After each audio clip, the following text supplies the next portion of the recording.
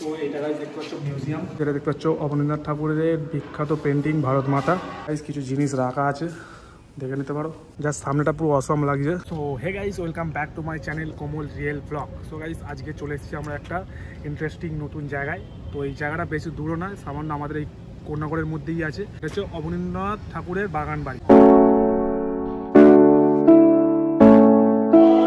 এখানে অনেক ইউটিউবে ভিডিও দেখেছি আমি। তো সবাই প্রপার ছাড়া আছে কিছু কিছুটা, সেটা দেখে আমি এখানে এসেছিলাম। কিন্তু এখানে আমি শুনেছিলাম যে ভিডিও করা অ্যালাউ ছিল, ঠিক আছে? কিন্তু এখানে এসে যখন আমি টিকিট কাউন্টারে গিয়েছিলাম, তো ওখানে একটা ম্যাডাম ছিল, সে আমাকে বলল যে ভিডিও যদি করতে চাও মানে ভিডিও করা অ্যালাউ নেই আর ফটো শ্যুট তো অ্যালাউই নেই, ঠিক আছে? ফটো শ্যুটের জন্য ডিএসএলআর যদি ভেতরে ফটো তুলতে চাও, পাঁচশো টাকা লাগবে। আমি যে মাথা খারাপ নাকি? পাঁচশো টাকা দেওয়ার মতো আমাদের অকাত আমাদের নেই এখনও ঠিক আছে? আর একটা কথা ভিডিও করার কথা বললাম, বলল ভিডিও করা যাবে না। আমি বললাম, কেন? আমরা তো এখানে ইউটিউবে ভিডিও দেখেই এখানে এসেছি। ঠিক আছে? তো ইউটিউবে ভিডিও করে সবাই সেটা দেখেই আমরা এখানে এসেছিলাম।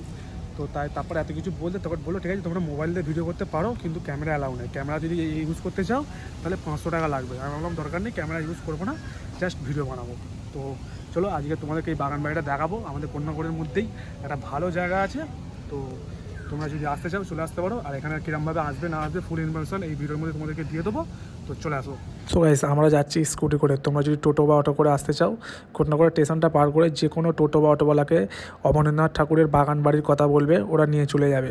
জিটি রোডে জিটি রোডের উপরার পর বাঁ দিকে আপনাদের ঠাকুরের বাগান বাড়িটা। দেখতে পাবে সামনে এরকম গেট আছে।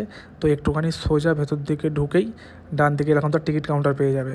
তো এখান থেকে টিকিট কেটে নেবে দশ টাকা করে নেবে পার হেড তারপর তুমি ভে- ভেতরে ঘুরতে পারবে। সো সামনে ঢুকে দেখতে পাচ্ছ এটা হচ্ছে গেট এখানে সামনে টিকিট কাউন্টার আছে আর একটা রাস্তা এদিকে যাচ্ছে একটা রাস্তা এদিকে যাচ্ছে এখানে দিয়াই রয়েছে। ঠিক আছে আমরা এখন এখান দিয়ে যাব। এত রোদ্দুরের মধ্যে তাও চলে এসেছে আমরা ভিডিও করতে। আর এখানে একটু হাওয়া দিচ্ছে বেশ ভালো লাগছে। এটা হচ্ছে পুরো বাগান বাগান মানে বাগান বাড়ি বলেছে মানে পুরো বাগান। হুম কমলদা দেখে যাবে সাপ আছে হ্যাঁ? তো গাইস এখানে দেখে নাও। এখানে লেখা রয়েছে।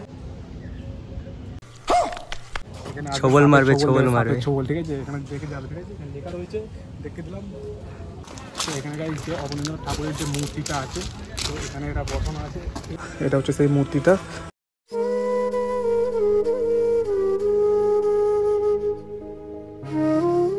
এটা দেখতে পাচ্ছ সামনে এটা একটা মিউজিয়াম আছে। ভেতরে ঢুকবো ভেতরে ঢুকে তোমাদেরকে দেখাবো কি আছে না আছে, ঠিক আছে?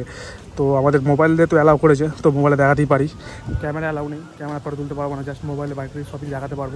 আর এদিকে একটা ঘাট রয়েছে, এই জায়গাটা খুব সুন্দর লাগছে। ভেবেছিলাম এখানে ফটো তুলবো, আগে থেকে প্ল্যান করে এসেছিলাম, কিন্তু প্ল্যান ক্যান্সেল মোবাইল থেকে তুলে নেব। যাই হোক ক্যামেরায় তুলতে পারব না।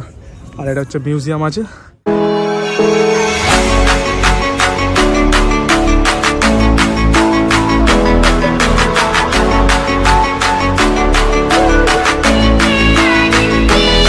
জাস্ট সামনেটা পুরো অসম লাগছে। ঠিক আছে? চলো ভেতরের দিকে যাই। তো এই জায়গায় দেখতে পাচ্ছ মিউজিয়াম আর বেশি বড় না ছোটোখাটো। এখানে কিছু পেন্টিং টেন্টিং আছে। তো পেন্টিং আছে এখানে কিছু নিজের হাতে তৈরি করা। আগেকার ছাদ দেখেছ? এটা সেই চুন সুরকি না কী দিয়ে করা ওটা দিয়ে তৈরি করা।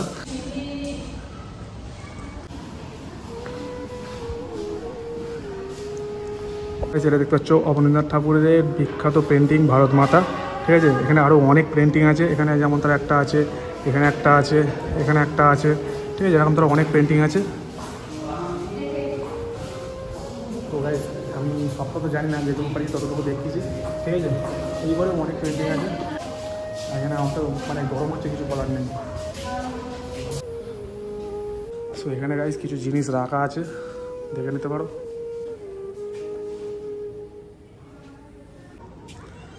সো গাইস মিউজিয়ামের ভেতরটা এরকম তারা দেখতে পাচ্ছ। আর সামনের দিক থেকে সব এরকম তারা। আমাদের তো মোটামুটি সবই ঘোরা হয়ে গেছে, দেখে নিয়েছো তোমরা। তো এদিকে যাই, দেখতে পাচ্ছ। একটা গঙ্গার ঘাট আছে সিম্পল কিন্তু মারাত্মক লাগছে দেখতে। আর গাইস এখানে দেখতে পাচ্ছ আম গাছে খালি মারাত্মক কত আম হয়েছে হিংসা করে আম আবার মানে আমুনে দেখে আমুনে খেতে ইচ্ছে হচ্ছে দেখো পুরো পাকা আম। আর এখানে গেট দেওয়া আছে গেটের ওপারে যাওয়া যাবে না। তোর ভালোবাসা উড়ে গেছে আমাকে। তাই যদি কিছু চাও আমাকে জানিয়ে প্রতিদিন আমি বলি মে তুই আমার জীবন। স্বপ্ন পূরণ করে দিব যে কোনো রকম যতক্ষণ তুমি আমার সাথে আর কেউ জানি না যতক্ষণ তুমি নাই আর কিছু পারি না। Girl, I just want your love and all the time and every day তোর মনে যত বাধা থাকে সব ছেড়ে দে। বুলাবে তুঝে আরে আজ মেরি গলিয়া বসাও তেরে সঙ্গে খুব সুন্দর এই দিকটা লাগছে। ঠিক আছে? আর এই দিকটা মেন যে গঙ্গা এটা। ওই দেখো গাইস সেখান থেকে গঙ্গা দেখা যাচ্ছে। এখান থেকে মারাত্মক খাওয়া দিচ্ছে ঠান্ডা ঠান্ডা।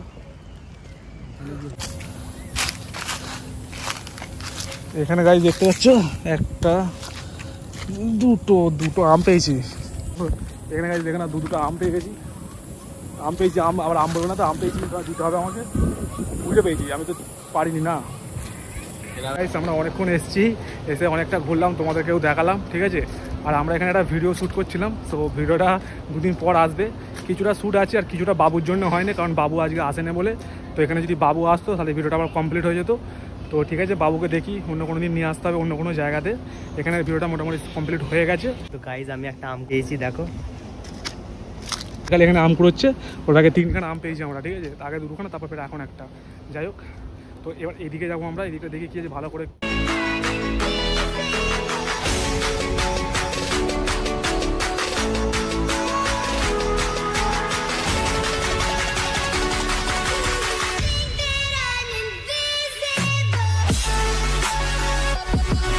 সো গাইস এখানে জায়গাটা রাস্তা দেখতে পাচ্ছ? একটা এইদিকে গেছে, একটা ওই দিকে গেছে, ঠিক আছে? আর চারিদিকে খালি গাছে আমে ভর্তি আমার তো খালি আমের দিকে লোক যাচ্ছে। এখন ছোটখাটো হাটের ব্রিজটা আমরা পার করব ঠিক আছে পার করে দেওয়া কথা আস্তে আস্তে পার করো। গাইজ আমার ব্রিজে উঠতে ভয় লাগে তাই আমি নিজে দিয়েই পার করেছি। চৌবাচ্চার মতো করা আছে এখানে পদ্ম ফুল চাষ করেছে ঠিক আছে? এখানে কিছু মাছ চাষ করা আছে কালারিং মাছ। সাইডে দিকটা একবার। তো এখানে গাইস আমরা এত বেশি ভিডিও করেছি, পুরো জুনে মিলে ঘেমে চান হয়ে গেছি, ঠিক আছে? তার উপর তো এত রুমাল দিয়ে মানে মুখ মুছে রুমালের অবস্থা খারাপ হয়ে গেছে। আর এই যে এখানটা করে পাশে কঙ্গা আছে, এখানটা করে বসে আছি।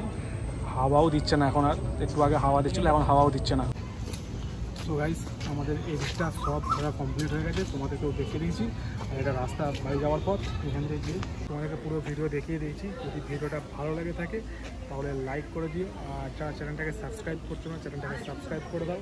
তোমাদের জন্য এখন তার নতুন নতুন ভিডিও আরও আনার চেষ্টা করব। এত রোদ্দুরের মধ্যেও তাও আমরা স্টেজে ভিডিও করার জন্য। একটু একটু ভূত চেপে গেছে। লোকের অনেক কিছু নেশা আছে, আমার একটু ভিডিও করার নেশা হয়ে গেছে। তো এটা যাদের নেশা থাকে, তারাই একমাত্র করে। আর সাইলের মধ্যে একটু ইচ্ছা আছে, তাই সাইলকে আমি নিয়ে এসেছি। ঠিক আছে? কারণ দুপুরবেলা এত মানে ওর ইচ্ছা করলেও যখন রোদ্দুরটাকে দেখবে না, তোমার দেখে মন ভেঙে যাবে। তারপরেও আমরা এসেছি তুমি তোমাদের জন্য। তো চ্যানেলটাকে যারা যাতে সাবস্ক্রাইব করে দিও। আর চলো, এখান থেকে এবার বাড়ি যাব। টাটা, দেখা হচ্ছে নেক্সট অন্য কোনো ব্লগে.